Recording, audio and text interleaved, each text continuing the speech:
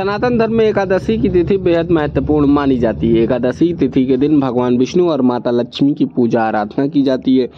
इस दिन जातक भगवान विष्णु और माता लक्ष्मी को प्रसन्न करने के लिए ज्योतिष शास्त्र द्वारा बताए गए कुछ खास उपाय भी करते हैं। जिसको करने से भगवान विष्णु तो प्रसन्न होते हैं, साथ ही माता लक्ष्मी का भी आशीर्वाद प्राप्त होता है।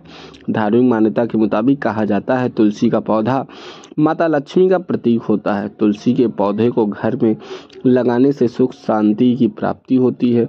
अगर आप भी जीवन में किसी तरह की समस्या का सामना कर रहे हैं तो पुत्रता एकादशी के दिन ज्योतिष शास्त्र में वर्णित तुलसी के उपाय ज़रूर करें।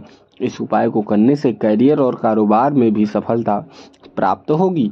अयोध्या के ज्योतिष के मुताबिक आज पुत्रदा एकादशी का व्रत है। और सावन माह की पुत्रता एकादशी बेहद खास मानी जाती है। इस दिन भगवान विष्णु और माता लक्ष्मी की पूजा आराधना की जाती है।